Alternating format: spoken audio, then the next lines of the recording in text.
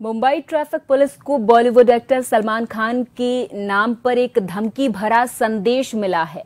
धमकी भरे इस संदेश में एक्टर सलमान खान से पाँच करोड़ रुपए की मांग की गई है।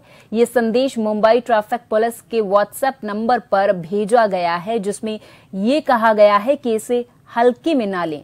वर्ली पुलिस ने धमकी और जबरन वसूली के लिए भारतीय न्याय संहिता, यानी बीएनएस के तहत मामला दर्ज कर लिया है।